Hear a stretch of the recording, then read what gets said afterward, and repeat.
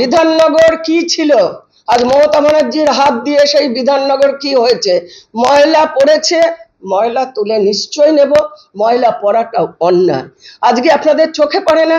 বিধাননগরের জল ছিল না আলো ছিল না লাইট ছিল না ঝা ঝাকচকে বিধাননগর?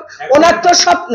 উনি তো বিধান রায় করেছেন তারপরে নয়া রূপকার বিধাননগরের মমতা বন্দ্যোপাধ্যায়। যেখানে আমাদের গাফিলতি আছে মাথায় পেতে নেব এবং মানুষের কাজ করতে এসছি মানুষ বলবে এবং নেত্রী নিজে বলেছে ওটাই আমার কাছে শেষ কথা আমার লাস্ট মন্ত্র। তিনি যেগুলো বলেছেন সবটি বিরোধীদের কাছ তো বিরোধিতা, এবং নির্বাচনে দেখেছে যে বাংলাকে নিয়ে খেলে কোনো লাভ নেই। উনি যেটা বলেছেন, আমরা তো প্রথমে কর্মী, তারপরে আমাদেরকে দলে নমিনেশন দিয়েছে। আমরা জিতেছি। উনি দিয়েছেন মানুষের কাজ করার জন্য। ওনার এভরি রাইট আছে, আমাদের বল। উনি বলেছেন, আমরা সেটা রেকটিফাই করব। এটার আর কোনো কথা না।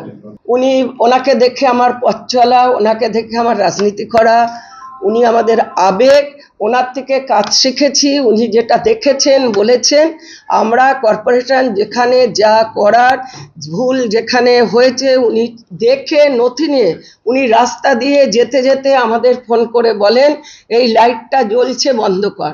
উনি যেতে যেতে বলেন, এই ল্যাম্পপোস্টটা হেলে গেছে।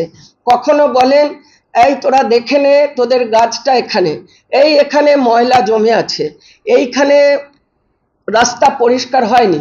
এটা আমি পৃথিবীতে বা ভারতবর্ষের কোথাও আমি দেখিনি যে একজন মুখ্যমন্ত্রী তিনি তার সমস্ত পৌরসভা কর্পোরেশনের কাউন্সিলরদের ডেকে ধরে ধরে ওনার নজর, দৃষ্টি এবং ওনার ভাবনাটা এতই যে মানুষের কাজ কর- করবার জন্য তোমরা এসছো, মানুষের কাজ করতে হবে, যেখানে মানুষের কাজ হবে না, সেখানটাতে আমি কিন্তু কাউকে বরদাস্ত করব না।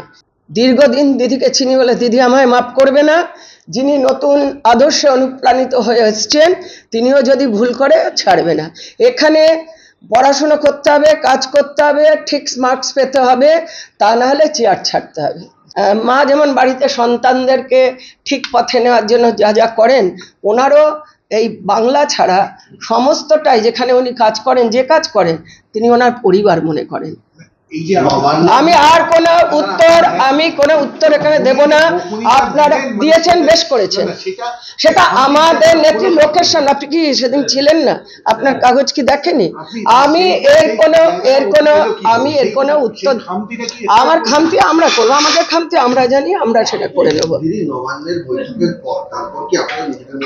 হ্যাঁ কালকে আমি এসছি। এসে যারা যারা ছিল আমার অফিসার সকলকে ডেকে commissioner, joint commissioner executive engineer সেই সময় তুলসী ছিল, দেবরাজ ছিল, রাজারহাটে কিছু কাউন্সিলর ছিল, সকলকে নিয়ে আমরা বসেছি।